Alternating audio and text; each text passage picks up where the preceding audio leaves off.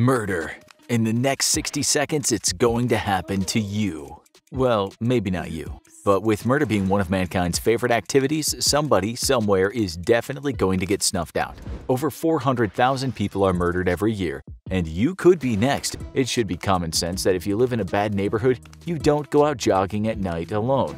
But generally, you should take care to avoid unpopulated areas when it's dark if you can help it. However, the better economically developed the area you're in, the less chance you're going to get murdered. Because killers know that cops respond a lot faster to neighborhoods with white picket fences than rent-controlled apartment blocks just off the freeway. While it might be good cover for many a suburban evil Dexter-type serial killer, they're not good hunting grounds. So you're probably okay jogging at 2 a.m. in residential Burbank, but you should seriously consider changing your exercise routine if you live in South Central LA. But it makes sense to avoid activities where a possibility of murder is extra high in other ways. Maybe don't get involved with making drug deals where the odds of someone getting killed are exponentially increased. We really don't want to push the type of paranoia that makes people not help other people in need. And while you shouldn't be afraid of strangers when you need a lending hand, you also shouldn't be dumb. So if you're stuck on the side of the road and a stranger shows up offering a ride, don't be afraid to take it, but also don't be afraid to acknowledge the potential hmm. dangerous situation you're entering into.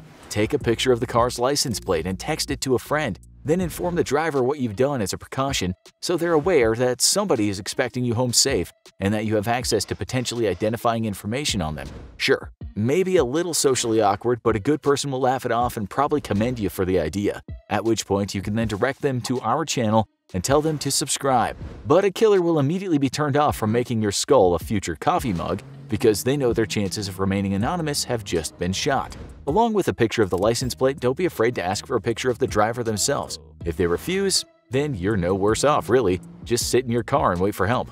You might have just saved your own life. Also, make sure to send your friend details on what you're currently wearing, where you'll be picked up from, the time, and an estimated time of arrival. It's also a good idea to have a duress phrase already pre-planned with your family or friends. This is a certain phrase that you don't use very often, but you could drop in a conversation to immediately alert those who know that you're in danger.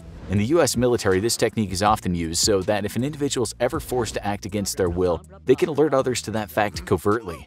Some examples of duress phrases are simple things that your friends and family would know are out of place, like, I really loved those red boots you bought me, or Kurzgesagt is a better channel than the infographic show. You know, that type of completely unbelievable thing people around you would immediately know you never say and thus signal that you're in trouble. All of these details will be great for helping solve your murder later, and police will be really super appreciative of your cooperation. But the entire point is to avoid getting murdered in the first place. That's why it's important to alert your Good Samaritan to the fact that you've notified someone that you're being picked up or helped by them and that they're expecting to hear from you. Information is deterrence in this case, and if you happen to be unlucky enough to have gotten picked up by a serial killer, they'll almost certainly move on to their next victim instead. It doesn't hurt to also pay attention to people around you or in your life. Do you have a neighbor with blacked out windows who does a lot of late night trash runs? They're either a vampire or a serial killer. And, well, we suppose that in this case there's very little difference between the two. Since you're at the greatest risk of getting killed when you're alone, though, pay attention to the way people are dressed around or how they act. Is someone in your vicinity unusually dressed for the weather?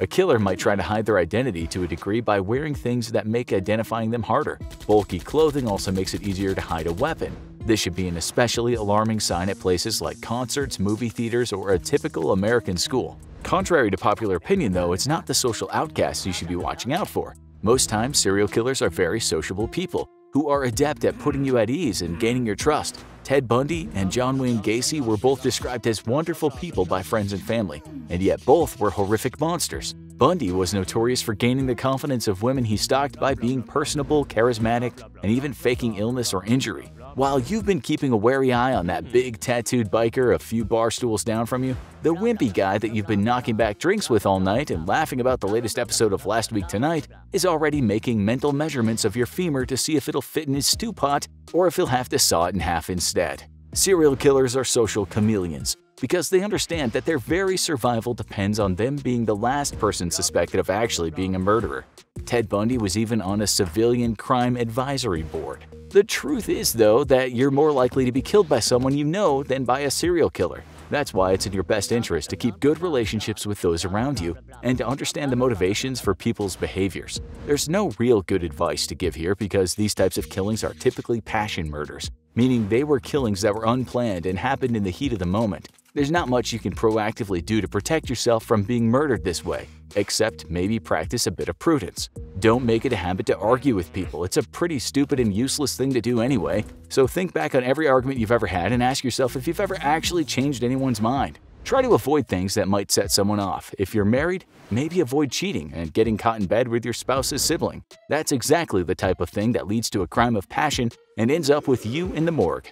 While hopefully it'll never happen, you might find yourself in a situation where someone's trying to murder you anyway. In an ambush scenario, there's sadly little you can do, though typically most ambush killers are quick to run away so as to avoid being caught. Here, knowing some basic first aid can be a literal lifesaver as those killers might not stick around to make sure you've bit the dust. Apply pressure to all wounds and try to elevate them above the heart. This will slow down blood loss because it's harder for the heart to pump blood uphill. Don't change out bandages even though they're completely soaked in blood. This will only tear off the clotting that's already begun and the wound will bleed freely once more. In case of serious uncontrollable bleeding in a limb, learn how to tourniquet to cut off blood flow completely. You'll likely lose the limb but save your life.